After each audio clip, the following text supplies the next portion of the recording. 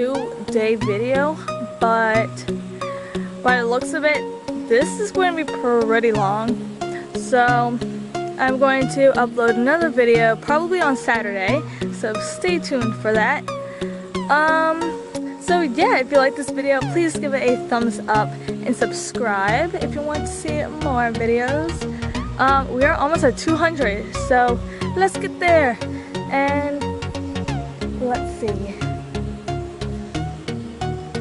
That's it. Oh, um, so yeah, sorry if like the time lapse is probably a bit weird because it's my first time time lapsing something like this.